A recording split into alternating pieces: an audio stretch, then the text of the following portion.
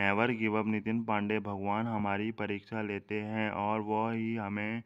उसमें सफल होने का सामर्थ्य भी देते हैं 22 अप्रैल 2024 नितिन पांडे